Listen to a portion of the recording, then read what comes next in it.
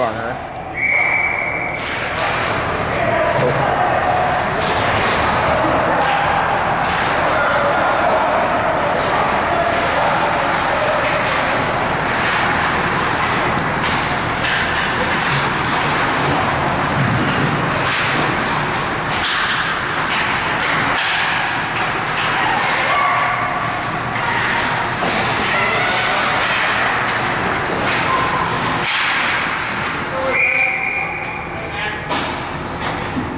down this corner.